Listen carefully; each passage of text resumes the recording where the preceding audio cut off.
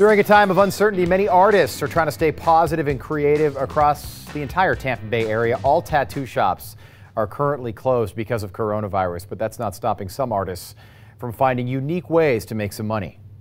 At least speaking for myself as a tattooer, I think adapting uh, to change is kind of it's in the gene. Yeah, we anticipated it. Um, I think some of the earlier reports at the beginning of the month month kind of raised eyebrows, so we immediately implemented changes at our shop. We kind of beat Governor DeSantis to the punch about a week or so ahead of time.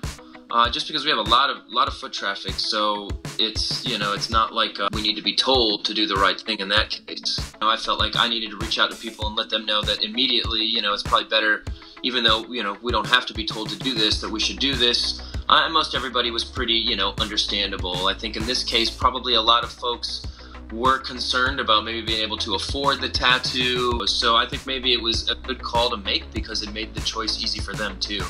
From very early on, you know, you kind of learn to not get too comfortable with the immediate position. So I think I'm lucky because I have, you know, some fun talents that I can put to use just to pass the time.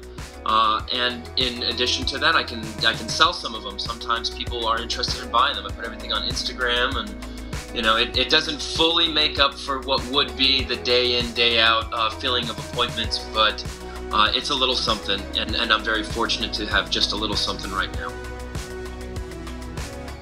Remember, you can support local artists by buying their artwork or donating to them directly.